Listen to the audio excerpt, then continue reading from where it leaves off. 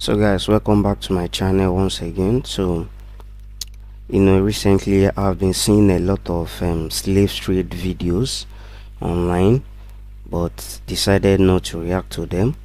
But today i find one that got my attention and this particular one is um, about the Igbo slave trade who resisted to be enslaved and rather commit suicide so guys i would want us to watch this video and see for ourselves what our forefathers you know our ancestors passed through you know to be shifted to you know to european countries and rest of them.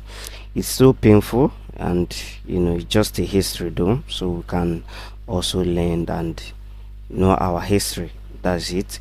So let's watch the video together and see what actually happened and what transpired during their own time. So let's go ahead guys. So in case if this video is muted in future just bear with us. You can follow up the video via the subtitle you know via the caption. So let's proceed The last time when I filmed this river, I told you it's a clean river with a sad history, but I didn't have much story to tell you about the river. see the big river next to me and the bridge you're seeing there is the bridge of no return the story behind that bridge is something very sad and at the same time it is something that we don't want to happen ever again And today, I'm back to tell you the story about this river, but this time around I have a better story to tell you. i'm not even a slave but few minutes i spent inside this place i feel like i was dying A few months ago, I traveled to Badagry, Lagos, where I explored the Nigerian Slave History Museum. And when I went to this place, I found a story in the museum about Igbo slaves who committed mass suicide in the Atlantic Ocean. And when I saw this story, it brought me back to this river. inside the ship they all speak language to themselves like instead of us embarking on this journey why not commit a suicide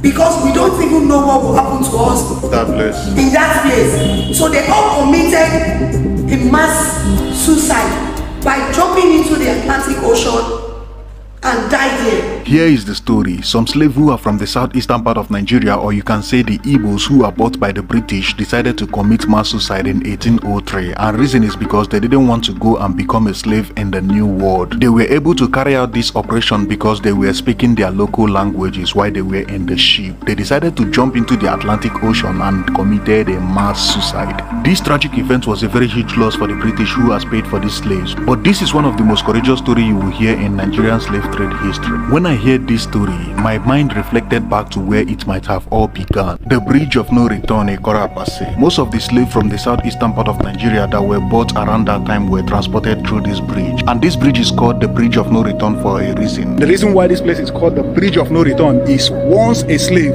step on it, that is the last time they will look back. They will never look back and they will never see their hometown again till they get to the new world. That is what it was called.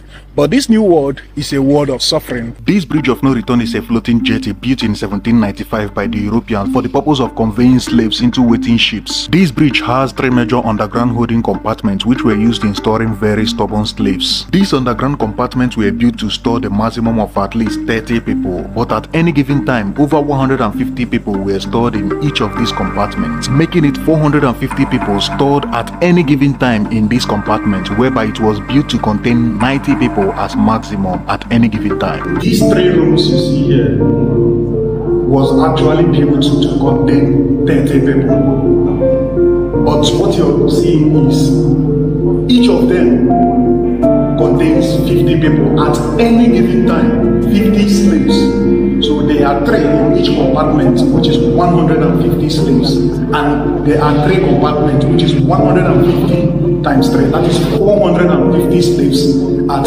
any given time. Now take a look at a place where 50 people were sitting.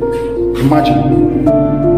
And there is no way, this is the only source of ventilation. This is the only source of ventilation. This thing is lying on top of uh, salt water and it's still like this. Nothing can destroy this thing. Even in 1,000 years to come, this thing will remain like this. But imagine the kind of suffer the whole people that are inside this place were suffering. Imagine 50 people inside here. I wanted to know what it feels like inside this compartment where the very stubborn slaves were stored. I entered inside. I was only there for 10 minutes and I couldn't stand it. I'm not even a slave, but few minutes I spent inside this place, I feel like I was dying.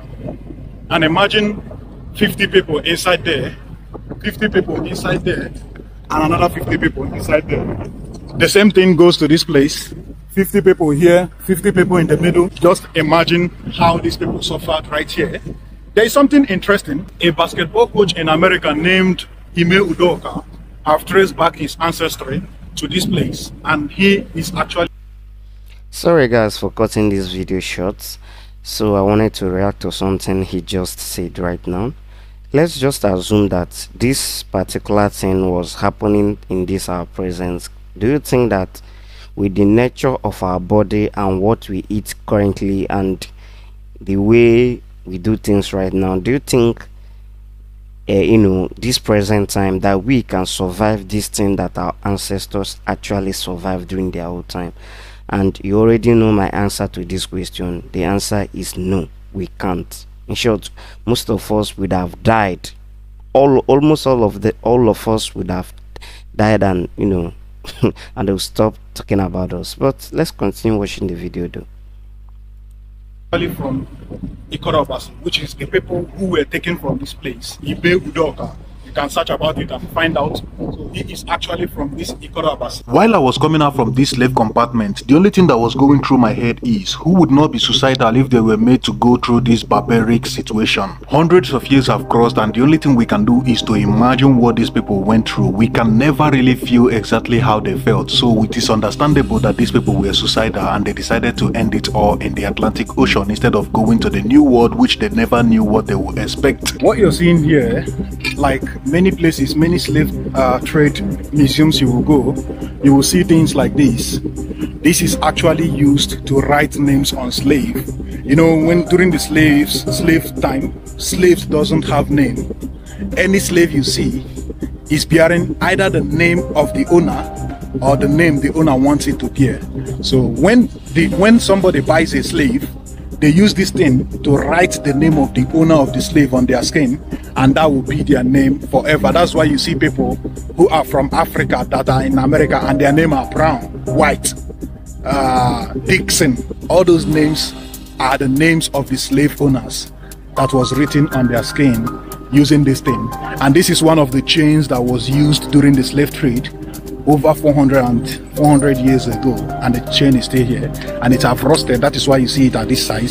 But these things can actually be on the neck or on the leg or on the hands of a slave for how many months during their travel from the Atlantic Ocean to wherever destination they are going to. These are all the things slaves suffered.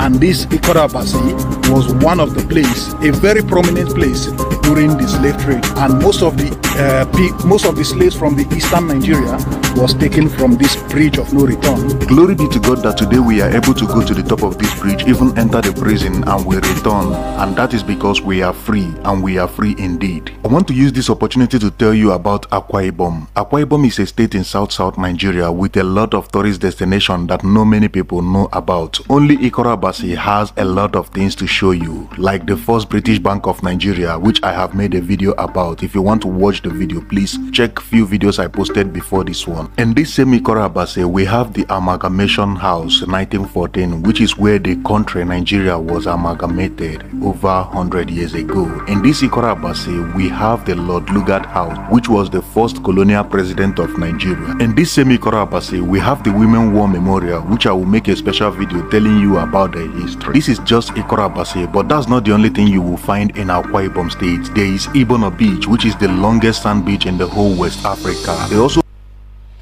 sorry guys i'm cutting it short so this is where i'm gonna be ending this video if you wish to watch some of his video again you can go to Wowneche's channel and you know continue with other videos and uh, the one thing i want to chip in in this is that we all need to you know go back to history know much about all these things. It's our history we have to know it and know where our ancestors did wrong and try to correct it and also emulate the ones they have done right and you know implement it in our own days right now. So this is all i have for you guys today. Don't forget to subscribe to our channel if you love what we are doing and don't also forget to click on the thumb up button and don't also forget to click on the notification bell so you get notified each time we publish a new video. And lastly don't forget to share.